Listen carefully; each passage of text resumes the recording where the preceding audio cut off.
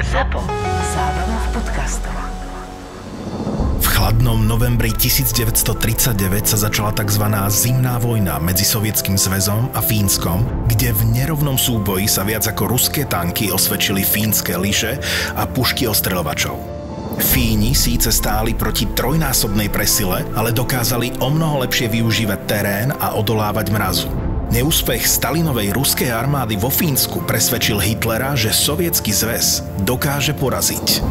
O tom, ako sa Hitlerové besnenie v roku 1939 začalo, rozpráva séria štyroch zlatých, poluncových mincí Českej mincovne z cyklu Vojnový rok 1939 minca Protektorát Čechia Morava, minca Bitka o Westerplatte, minca Zimná vojna a minca Bitka pri Rio de la Plata.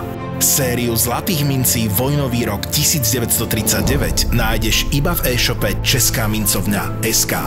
No a toto je už ďalšia epizóda podcastu Tak bolo.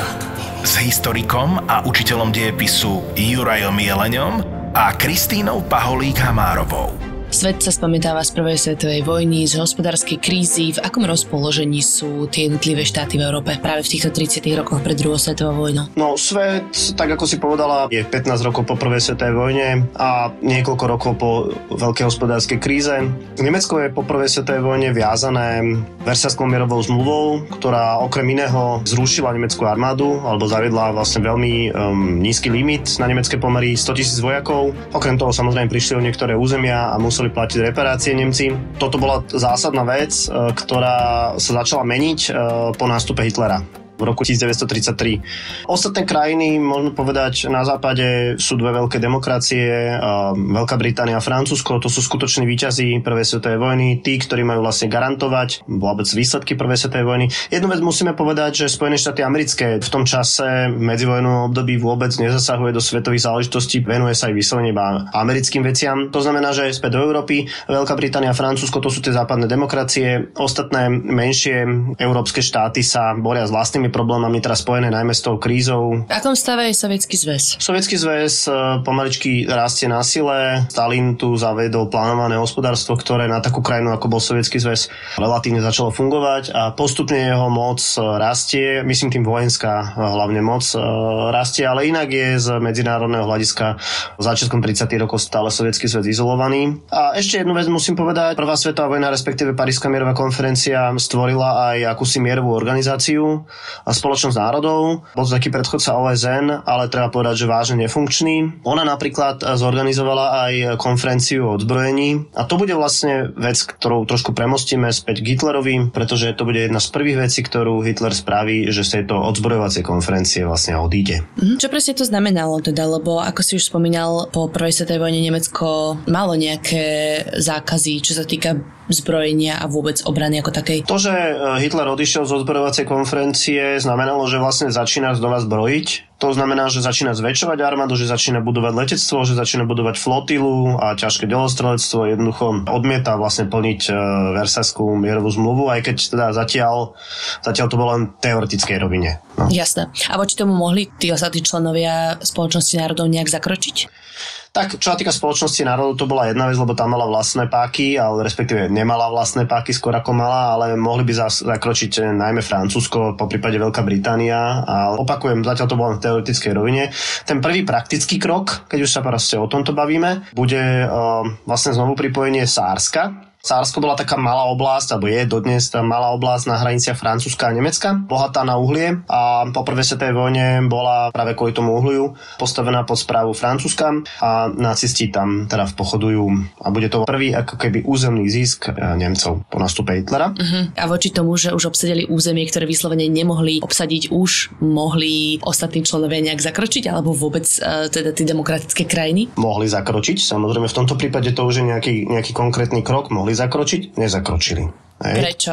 Zatiaľ sa to len rysovalo, že prečo, ale teda postupne sa bude vytvárať taká politika ústupkov voči Hitlerovi. Aj keď zatiaľ vlastne e, všetci mali skôr takú nádej, že veď to je len dočasné a že to sa veľmi rýchlo kúdní. No. Jasné. No ale potom teda Hitler obsadil ďalšiu časť, ktorú mal zakázanú a to bolo Porínie.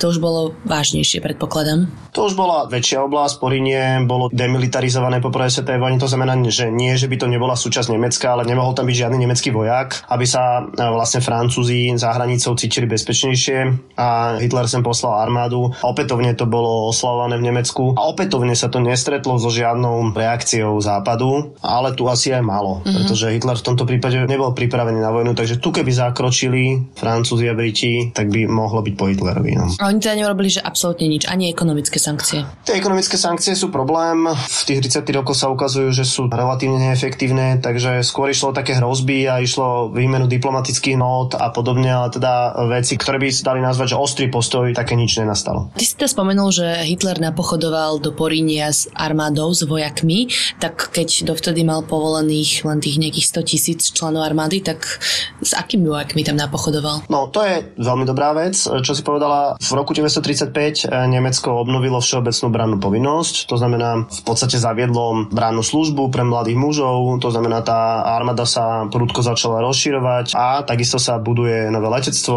mm, tanky, delostrelectvo a podobne. Samozrejme, to je dlhotrvajúci proces, ktorý v roku 1936, keď prichádza do Rínia, v žiadnom prípade nie je ukončený, hej, ale teda s touto armádou, ktorú postupne začína budovať. Tá nová armáda je naozaj že nová, aj technologicky nová. Hej. E, to bude v podstate jeden z argumentov, prečo Hitler bude v druhej svetovej vojne na začiatku vyťaziť, pretože po technologickej stránke tie jednotky alebo tie tanky, tie lietadla budú najnovšie, aké môžu byť. No a druhá vec je to, že ideálne si to niekde vyskúšať tieto nové zbranie. Tá situácia príde práve v španielskej občianskej vojne, čo sme v rovnakom roku, 1936, kedy Hitler pošle sem dobrovoľníckú armádu, dobrovoľníckú v úvodzovkách, aby pomohol eh, generálovi Frankovi v tomto veľmi škardom, hnusnom, eh, krvavom konflikte, veľmi neprehľadnom. To znamená, že tam prídu neoznačení vojaci, vyslovene? Všetci o tom vedia, že sú to Nemci. Neoficiálne je to nemecká armáda. Nemôžeme to povedať, že neoznačení, mali vlastné uniformy, ale teda principiálne pomáhajú tomu generálovi Frankovi, respektíve nacionalistom v boji proti lavicovým republikánom. Je to vojna, ktorá sa bude ťahnuť až do roku 1939. Na druhú stranu vás zase bude podporovať Sovietský zväz a budú sem prichádzať tzv tzv. interbrigadisti, to budú dobrovoľníci z celého sveta a hlavne samozrejme lavicovo orientovaní. Principiálne pôjde o vnútorný konflikt v Španielsku, takže že by sa zasahovali mocnosti, to nebolo úplne celkom možné. 6. marec 1939, denník Valery González, utečenkyne zo Španielska. Nedá sa to predstaviť, kým to nezažijete. Čokoľvek napíšem, slová nebudú dostatočne vyjadrovať to, čo sa nám stalo. Predstavte si, že zrazu musíte odísť zo svojho domova. Neviete, či sa ešte niekedy vrátite. Vaše kvety nebude mať kto poliať, jedlo zostarne a pokazí sa. A čo vaše oblečenie? Hračky, knihy. Predstavujem si každý kúsoček nášho domu a snažím sa vriť si ho do čo najhlbšej pamäti. Chcem sa doň vrátiť, ale kým sa tak stane, nechcem na nič zabudnúť. Naopak, veľmi zabudnúť som sa snažila na to, čo sa stalo pred takmer rokom. 16. marca 1938 bombardovali Barcelonu. Miesta, ktoré som dôverne poznala, zachvátili plamene, budovy, okolo ktorých som celý život chodila a nevedela som si predstaviť, že by raz vyzerali inak, zrazu nestáli. Vôbec sme nevychádzali do ulic. Rabovalo sa, dokonca vraždilo aj vonku za bieleho dňa ale dúfali sme, že ani napriek takému strašnému zážitku nebudeme musieť odísť. No nakoniec sa nedalo zostať. Sme v stane na pláži San Cyprien vo Francúzsku.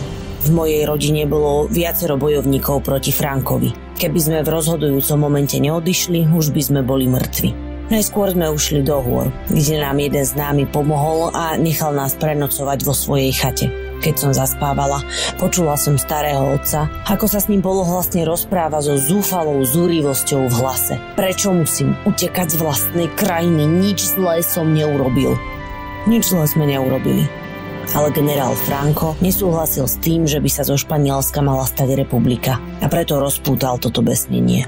Nedá sa však povedať, že je za všetku preliatu krv zodpovedný len on. Na vine sú všetci, ktorí sa rozhodli zapojiť Fašisti zo strany Falanga bojujú bok po boku s monarchistami, nacionalistami a väčšinou konzervatívcov. Podporuje ich väčšina katolíckého duchovenstva, armáda a neoficiálne aj Nemecko a Taliansko. Proti ním stoja liberáli, socialisti, komunisti a anarchisti s podporou Sovietskeho zväzu. Nie je to však len takéto čierno-biele. Mnohé strany majú spory aj medzi sebou a spojenci sa tak často dostávajú do konfliktov. Je to neprehľadné, málo kto rozumie, čo sa deje a má presné informácie. V chate nášho známeho sme zostali len jeden deň. Na druhé ráno sme prešli do Francúzska. Po prekročení hraníc nás vojaci eskortovali sem. Nehostinná pláň, nedaleko pláže, obohnaná plotom so snatým drôtom. Studený, pichlavý vietor a drobný piesok vo vzduchu, ktorý vo vetre bodá ako milióny hiel. Sedíme v stane. Nevieme, ako dlho nás tu budú držať, ale neverím, že dlho. Je tu problém so sladkou vodou. Denne dostávame na prídel iba malé množstvo a piati si delíme jeden bochník chleba. Chýbajú umývárne a toalety. Počuli sme, že niekoľko detí a starých ľudí už zomrelo. Vraj sa začínajú šíriť choroby. Úplavica, týfus. Keby sme tak boli doma. Tešila by som sa na jar. Dni by sa predlžovali, sadili by sme hrášok a čoskoro by začali kvitnúť narcisy. Kam ďalej Hitler expandoval teda po tom, čo už zabral tie západné časti Nemecka, angažoval sa v španielskej občianskej vojne a čo boli jeho ďalší cieľ? Tá expanzia bude smerovať vyslovene na východ. Jeho ďalší cieľ bude Rakúsko. Volá sa to, Anschluss Rakúska a pôjde o vlastne pripojenie Rakúska k Nemecku v marci 1938. Problém číslo 1 bolo, že spojenie Rakúska a Nemecka bolo zakázané Versailskou mierovou zmluvou, takže ide o opätovné porušenie tejto zmluvy. Hitler vytvoril veľký tlak na rakúsku vládu a napokon, e, ako som povedal, bez jediného výstrelu Rakúsko obsadil a potom už len zorganizoval asi o mesiac na to referendum, v ktorom e, to pripojenie k Nemecku bolo 99% hlasov potvrdené. A teda opäť táto otázka ma neprestane baviť. Nikoho to naozaj neznepokojovalo, alebo teda už aspoň nejakým spôsobom zakročili na krajiny, keď vyslovene si povedal, že ide o porušenie medzinárodných dohôd? No, v tomto prípade už e, sa nám naplno rozvinula tá politika, ktorú som spomínal predtým, tá politika ústupkov, ktorá sa nazýva takým anglickým slovom politika epismentu. Je to politika, ktorá je spájana najmä s britským premiérom Nevilleom Chamberlainom. Tá politika vychádzala hlavne z e, tej blízkej skúsenosti s prvou svetovou vojnou, kedy sa medzivojnoví politici alebo teda tí politici v Británii a vo Francúzsku snažili vyhnúť vojne ako takej. A čo týka samotného Anšlusu Rakúska, samozrejme opätovne došlo k diplomatickej kríze, by som povedal. Rakúsko sa aj snažilo získať podporu Veľkej Británie a Francúzsku, ale ako náhle zistili, že vôbec žiadne neprichádza, tak tá vláda musela e, ustúpiť e, tomu Hitlerovmu tlaku a v podstate Hitler to dostal ako dáreček. Zase sa Nemecko roztiahlo aj e, z hľadiska populácie, aj z hľadiska územia. No. Prečo práve na východ? keď predtým ako keby útočili na svoje západné hranici. Hej. Východ bola taká prirodzená cesta. Už vlastne rok pred um, Anšlusom bola zadefinovaná nemecká agresívna a by som povedal expanzívna politika. Volalo sa to niekedy takým spojením, že Drang na Hosten, dobývanie východu. A súviselo to s tým, že tu videl Hitler e, životný priestor pre svoj e, nemecký národ. V tom čase sa hovorilo o tom, že obyvateľia majú stále väčšie väčšie nároky a že potrebujú stále viac surovín a stále viac jedla a práve povedzme, že Polsko, Československo a stredná a východná Európa mala poskytnúť tento priestor. Ďalším rozmerom boli nerastné suroviny v zmysle ropa, aj to Nemecko nemalo, bolo závislé na, na dovoze. Tretí rozmer bol o, aj ten boj proti svetovému židovstvu. Židia obývali o, hlavne tieto oblasti, aj keď v tomto čase to ešte nebolo tak zadefinované. A predpokladám, že keď už aj v španielskej občianskej vojne tam šlo o boj pravice voči ľavici, tak možno, že tam bola aj tá pointa vytlačenia komunizmu a vytlačenia ľavicovej ideológie. Už od roku 1936 existoval tzv. pakt proti kominterne, to bolo spojenectvom s Japonskom najskôr, neskôr aj s Talianskom a vyslovene namierené proti Sovietskému zväzu, respektíve proti komunizmu. Hlavný, dá sa povedať, že jediný komunistický štát v tom čase ležal na východ, takže zase ďalší dôvod, prečo expandovať na východ. A tá osobnosť e, Chamberlaina, ktorého si spomenul, teda zohráva úlohu aj v ďalších udalostiach. Evidentne Briti si uvedomili po tom, čo si proste Hitler pripojil Rakúsko za pár dní doslova, že sa teda nezastaví? No, každému bolo jasné, že na rade je Československo. Nemci začali požadovať e, odstúpenie tzv. sudetov, to znamená pohraničných oblastí, ktoré obývali Nemci. Neville Chamberlain vstúpil do hry takým spôsobom, že začal priamo osobne vyjednávať s Hitlerom. Prvýkrát sadol v živote do lietadla, trikrát letel do Nemecka s tým, že posledný krát letel na tzv. Mnichovskú konferenciu, kde sa stretol okrem teda Hitlera aj s Mussolinim, talianským vodcom a, a Daladierom, zastupcom Francúzska. A tieto štyri mocnosti rozhodli o tzv. Mnichovskej dohode. To znamená, že Československo má odstúpiť oblasti, kde žije viac ako 50% Nemcov. Uh-huh. Ak tak neurobí, západné mocnosti mu nepomôžu. Toto bol taký zásadný krok, kedy Chamberlain vstúpil do dejín tom Mnichovskou dohodou. Bol presvedčený o tom, že, že zabezpečil vlastne mier, ale ako neskôr dejiny ukážu, veľmi sa mýlil. No. 30. september 1938 denník Stevena Evansa, pilota predsedu britskej vlády Nevilla Chamberlaina. Hneď ako sme pristáli, sa okolo lietadla zhrkol dav. Polícia, novinári, aj neviem kto všetko tam bol. Kým sa otvorili dvere, premiér chvíľu postál v malom priestore pred nimi a ako to len šlo, povystieral si nohy, ruky aj chrbát. Urobil pár grimás, odkašľal si a prikývol na znak, že dvere sa môžu otvoriť. Keď vyšiel na letiskovú plochu, zdvihol papier, ktorý držal v ruke a vyhlásil. Podarilo sa nám vyriešiť československý problém, ktorý, ako sa domnievam, povedie k dohode, ktorá prinesie mier celej Európe. Dnes ráno som znovu hovoril s nemeckým kancelárom, Herr Hitlerom, a tu je papier, na ktorom je jeho meno vedľa môjho a potom z dohody citoval, ako sa Británia, Francúzsko a Taliansko dohodli s Hitlerom, že mu prenechajú oblasť v Československu, ktorá sa nazýva Sudetmi, kde žije veľa nemeckého obyvateľstva a on im za to slúbil mier. No neviem, či sa dá nemeckému kancelárovi veriť. Je to ako by niekto rozhodol, že my sa máme vzdať Škótska.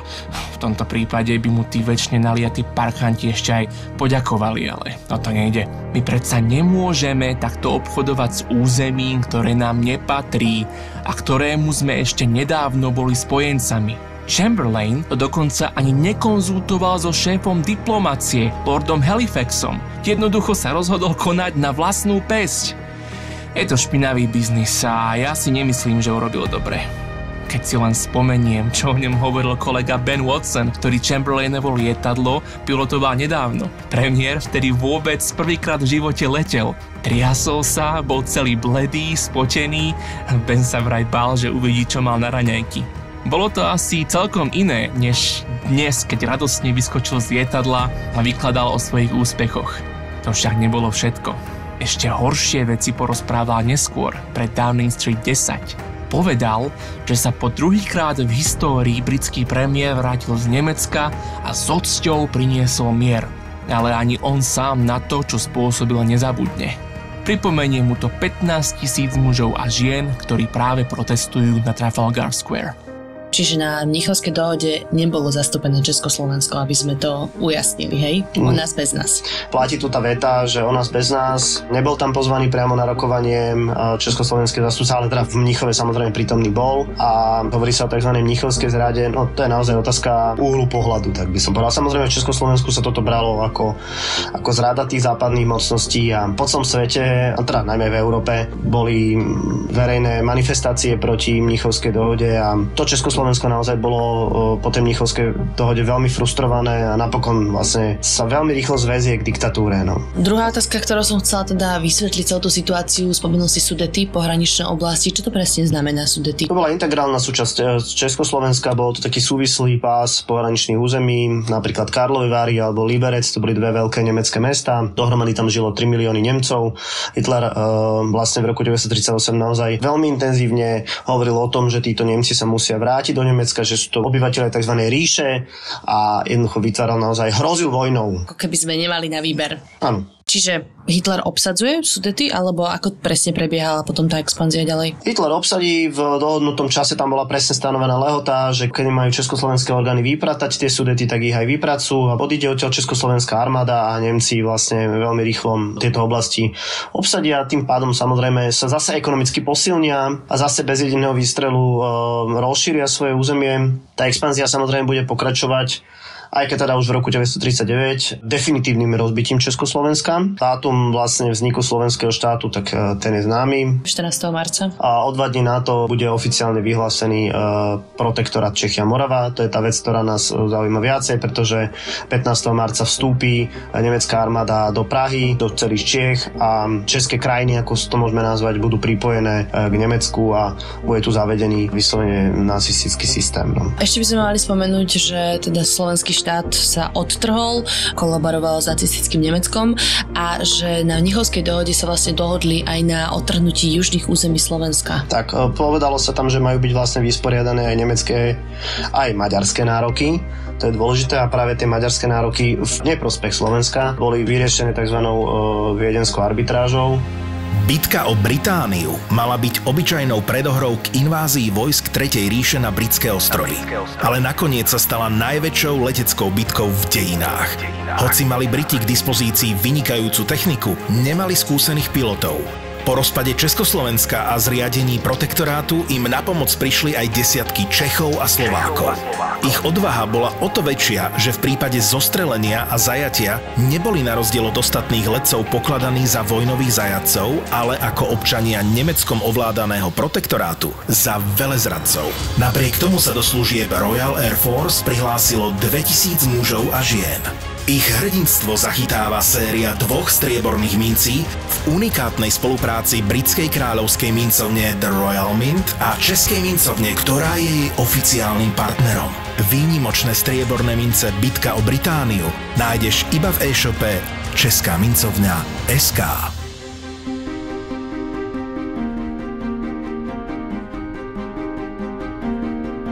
Všetkým bolo jasné, že ďalšie na rade bude teda Poľsko, keďže Československo už bolo rozobraté a teda bolo to jasné aj liberálnym mocnostiam Francúzsku a Británii, ktoré sa spamätali a podpísali dohodu o ochrane hraníc Poľska.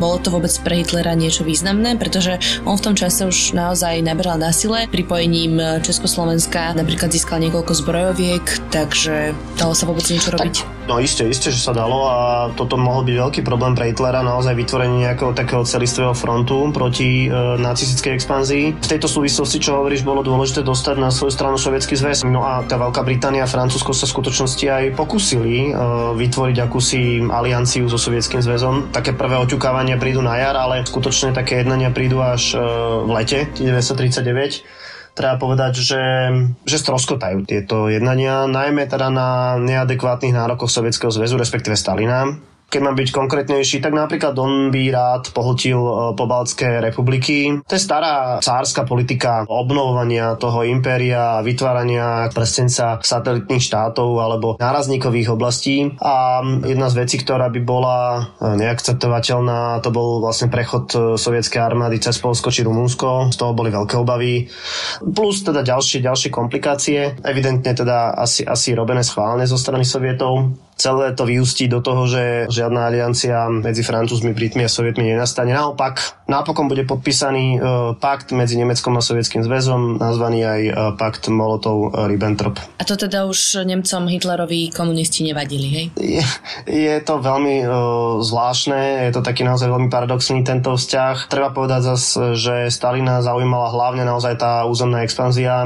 To e, Hitler rád prislúbil. Súčasťou toho paktu je tajný dodatok, ktorý rozdeluje sféry vplyvu medzi Nemecko a Sovietský zväz. Inak to bol aj zaujímavý ťah zo strany Sovietov, keď vymenili ministra zahraničia Litvinova práve za Molotova, keďže Litvinov bol Žid. Mm-hmm. Tak aby nevadil Nemcom pri jednaní, tak napríklad aj, aj takúto vec spravili. Mm-hmm.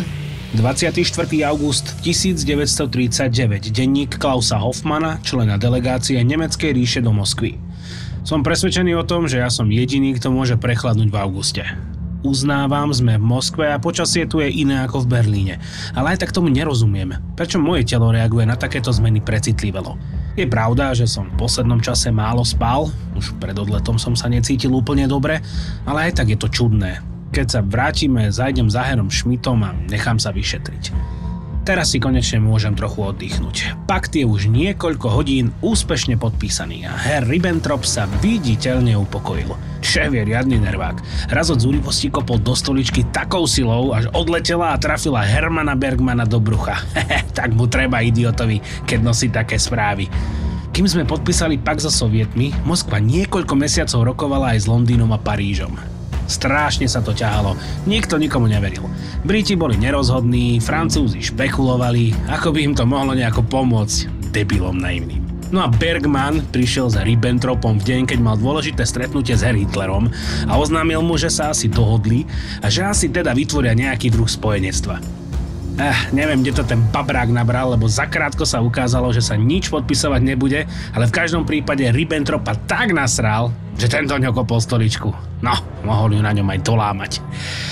Ah, ale už je dobre. Za dva mesiace sme sa so sovietmi dohodli my. Hneď na začiatku sme Stalinovi podhodili to, čo mu Briti a Francúzi nechceli slúbiť celé mesiace. Predhodili sme mu Litvu, Estónsko, Fínsko a Besarábiu a tiež polovicu Poľska vymedzenú riekami Narva, Vysla a San. V oficiálnej časti zmluvy samozrejme nič také nebolo. Tam sme sa my aj sovieti zaviazali, že nebudeme bojovať proti sebe a neposkytneme ani pomoc nejakej tretej strane, ktorá by napadla jedného z nás. Prileteli sme len včera. Ribbentrop dostal k dispozícii jednu z luxusných limuzín, ktoré bežne používa ľudový komisár Molotov. Vpredu bola vlajočka so svastikou a podobnými bola vyzdobená aj miestnosť, v ktorej sa rokovalo.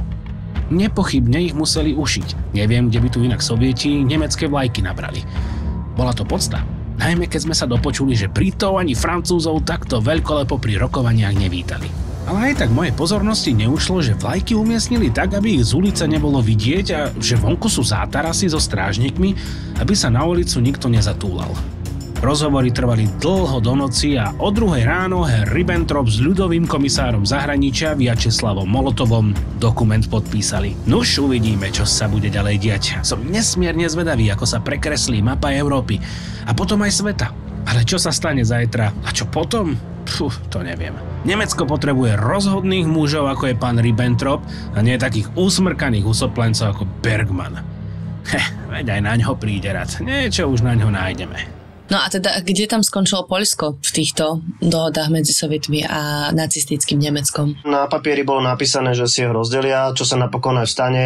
Samozrejme, už to už bude počas druhej svetovej vojny, kedy po takom incidente, ktorý sa volá Glivický incident, bude to nafingované obsadenie rozhlasového vysielača Nemcami a 1. septembra 1939 vlastne Nemecko prepadne Polsko a tým pádom začne druhá svetová vojna. Ako je možno, že to Hitlerovi vychádzalo? Veď to boli roky, kedy on postupoval ďalej a ďalej. No, samozrejme, v prvom rade je tá politika epismentu, čo bola teda veľká chyba. Druhá vec bola tá, že on naozaj ponúkal uh, alternatívu, aj keď z dnešného hľadiska veľmi ťažké takto povedať, ale teda ponúkal alternatívu tej pravicovej diktatúry. Treba povedať, že naozaj v tej uh, medzivojnovej Európe tie diktatúry výťazili nad demokraciami. Hej? Mm. Čiže pekným príkladom je naozaj to Československo, ktoré teda stratilo sudety a napokon sa celé rozpadlo.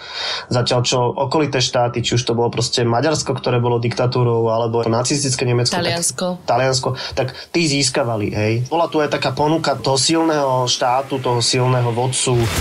Bitka o poloostrov Westerplatte nedaleko Gdaňska bola prvým stretom druhej svetovej vojny. Polskí vojaci z Westerplatte sú dodnes vnímaní ako symbol udatnosti. Zle vyzbrojená posádka, majúca necelé dve stovky mužov, totiž celý týždeň vzdorovala trom tisíckám nemeckých vojakov, ktorí útočili z mora, zo zeme aj zo vzduchu.